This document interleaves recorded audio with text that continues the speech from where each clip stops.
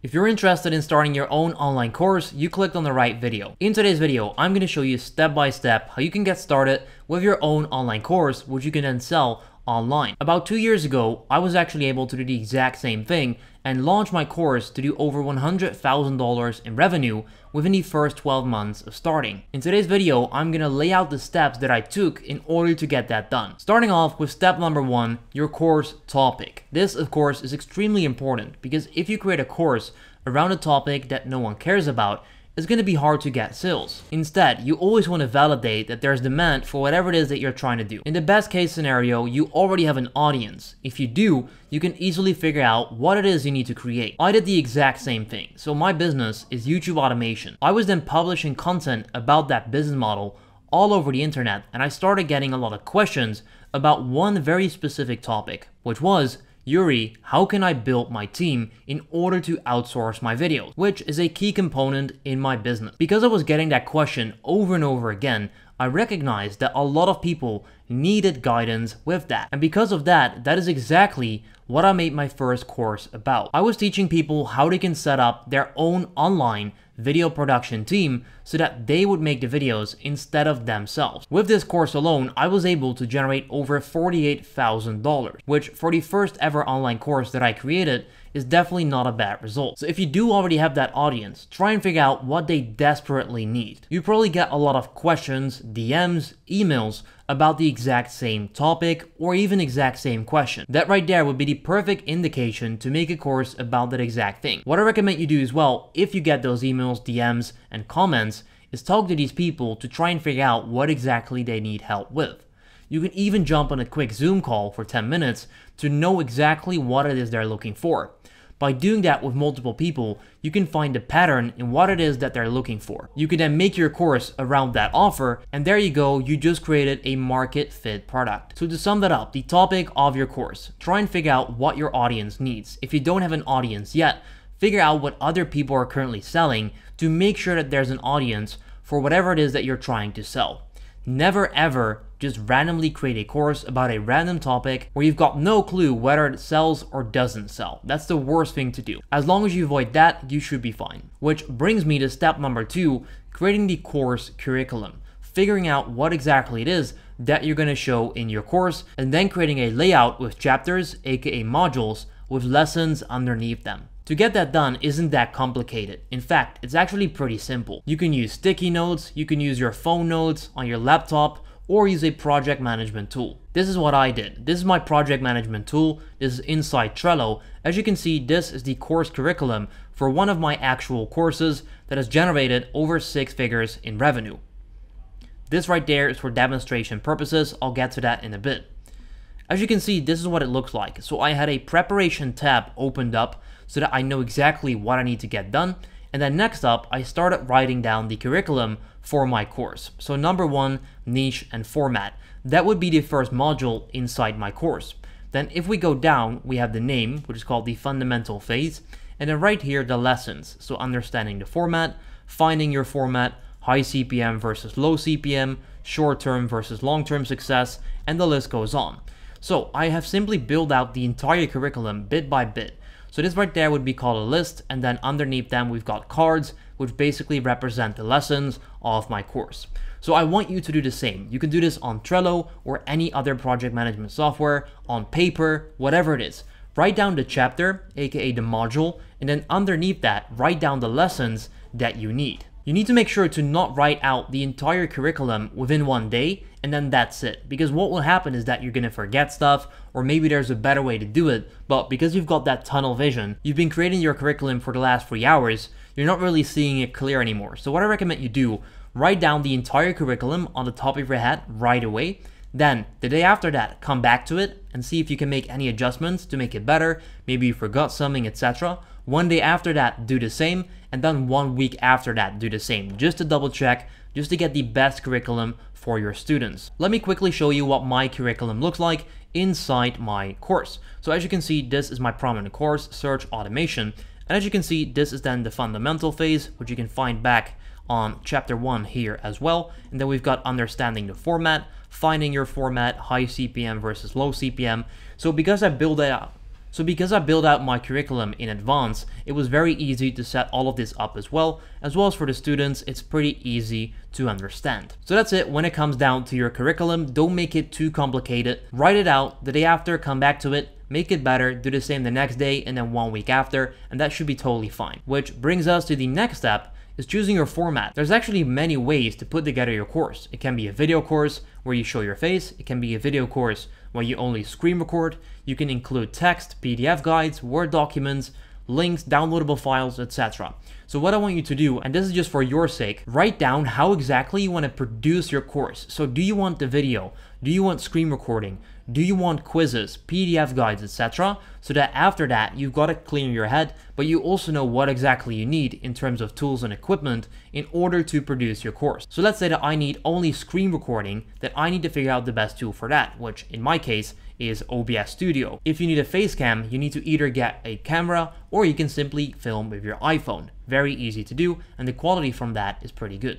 Quick tip, if you've got the latest iPhone, put the zoom in 3x and put the camera a bit further away to get a better view. Now I don't want to scare you off with this, in fact you don't need any fancy equipment. I'm recording this with a microphone that cost about $80, but you can also get it done with about $30. In terms of camera, use your iPhone and you're pretty much set up. So what I want you to do per chapter, write down how you're going to produce the course. Is it video only, screen recording only, PDF guides, etc. Just to get it very clear how you're going to make your course, which in my opinion is not unimportant at all, right? With that being said, we're getting to step number four, which is the course name. Now the course name, many people think is very important. However, this is one of those things that you're probably going to spend a lot of time on. However, it's not really that important. It's not a money producing activity. It's not going to bring any cash to you. In fact, what I want you to do is take one hour out of your day, write down every single thing that comes up in your mind, either take one of those or use ChatGPT in order to generate names. I'll show you how that works right now. So with this prompt right here, I'm making a course about XYZ, in my case, how to grow a YouTube channel.